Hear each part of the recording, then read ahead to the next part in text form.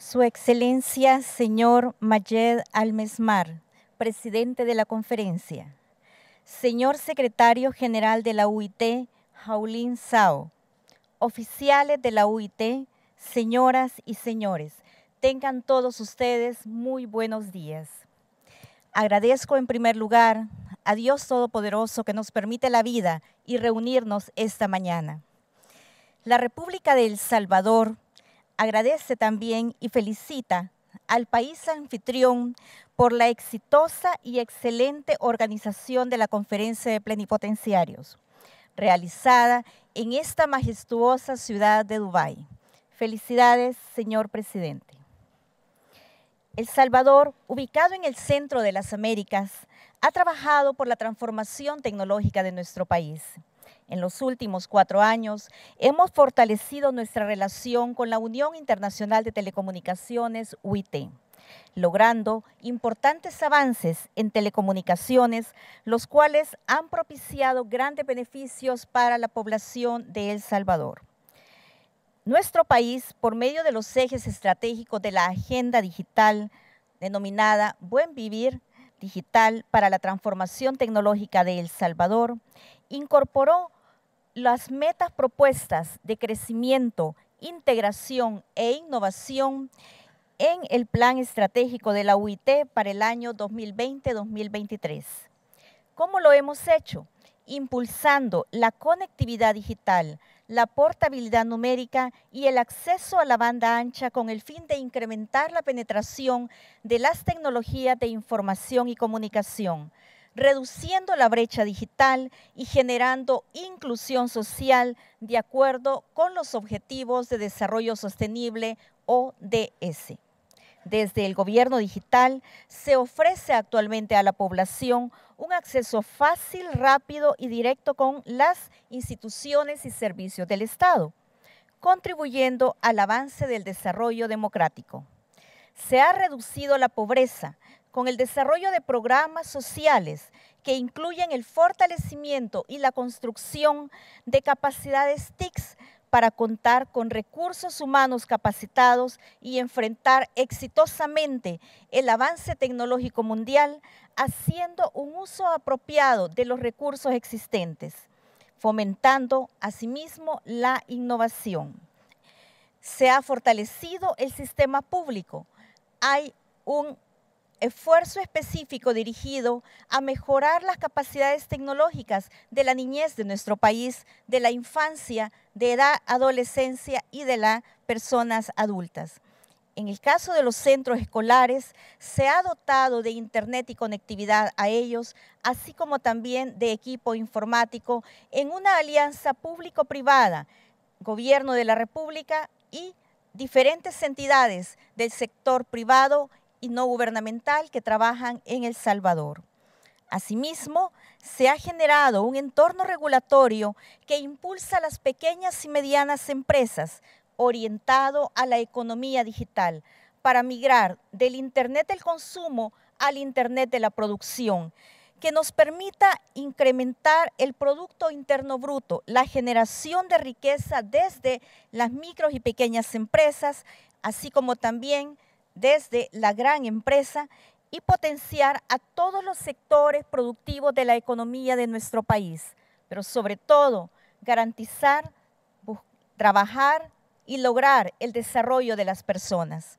Se han actualizado los marcos legales y regulatorios para contar con una gobernanza digital para la sociedad de la información.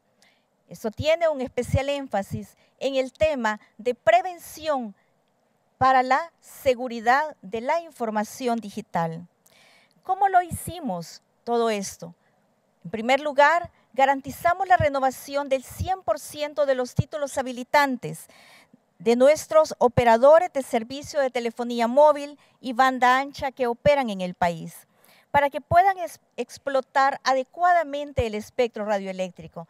Pero desde el Estado también ofrecemos una administración transparente y eficiente, garantizando certeza jurídica para el nuevo plazo de la concesión y fomentar las inversiones en el sector de las telecomunicaciones y las TICs. Recientemente se ha implementado también normativas modernas para mejorar la calidad de los servicios de las telecomunicaciones, de manera particular del servicio público de telefonía y transmisión de datos, garantizando que los servicios que reciba la población se apeguen a los estándares internacionales y a la normativa emitida por UIT y se garantice la satisfacción del usuario. Quiero compartir con ustedes también una muy buena noticia. A finales de este año se está licitando 140 MHz adicionales de espectro radioeléctrico para garantizar que las personas puedan tener más y mejores servicios, pero no solo en la banda 1900 AWS, sino también otro importante grupo de megahercios en la banda 700. Y es una satisfacción poder informar a ustedes que este año se tiene previsto el encendido de la televisión digital terrestre y la liberación del dividendo digital. Para el desarrollo de nuestra agenda se ha conformado una comisión presidencial de alto nivel, ya que con todas las acciones que he descrito, como ustedes saben, se necesita una integración de esfuerzos de las diferentes áreas del Estado y de la sociedad para garantizar un aprovechamiento y empoderamiento de las TICs y convertir las tecnologías de información y comunicación en una política de Estado por el alto impacto que esto tiene para el desarrollo socioeconómico de nuestros pueblos.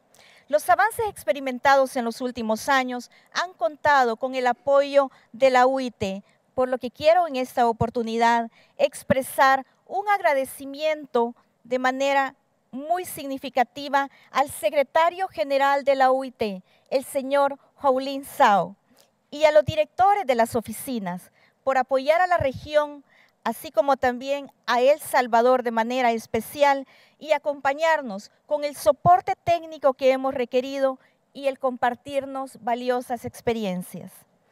Los países miembros de Contelca, del cual El Salvador es parte y referente regional en esta conferencia, estamos apoyando las iniciativas de propuestas interamericanas y apps relacionadas con conectividad a redes de banda ancha, medición de las TICs para la construcción de sociedades informadas, integradas e inclusivas, accesibilidad en las telecomunicaciones para las personas de diferentes estratos sociales y con diferentes capacidades.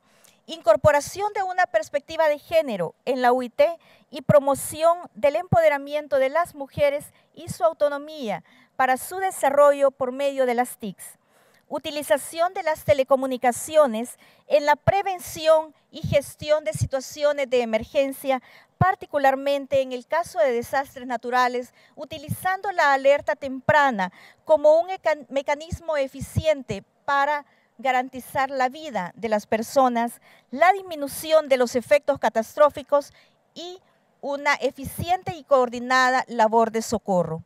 La protección de la infancia en línea es fundamental, así como también el empoderamiento de la juventud, dotándolo de las herramientas necesarias para su pleno desarrollo, utilizando las tecnologías de información y comunicación y las telecomunicaciones.